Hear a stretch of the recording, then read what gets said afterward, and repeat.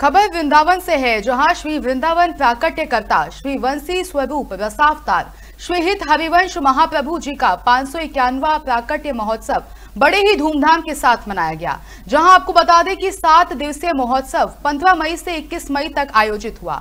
इस महोत्सव के शुभारंभ में श्री राधा वल्लभीय संप्रदाचार्य श्री योगेंद्र वल्लभ जी गोस्वामी ने ध्वज स्थापना की और पूजा अर्चना की गई।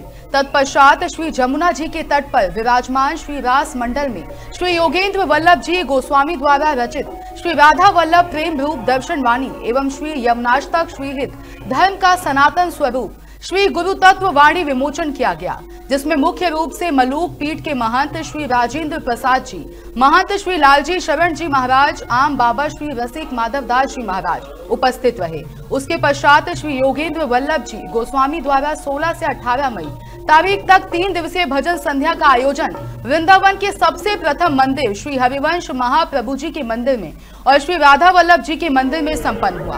दिनांक 19 तारीख को श्री हरिवंश महाप्रभु के प्राकट्य दिवस पर मंदिर में विद्युत साज सज्जा, फूल बंगला एवं प्रसादी वितरण का आयोजन श्री योगेंद्र जी गोस्वामी, श्री हरिवंश महाप्रभु सांस्कृतिक संस्थान के माध्यम से आयोजित किया गया। वहीं दिनांक 21 मई को श्री साधु सेवा भंडारा आयोजन के साथ महोत्सव का समापन।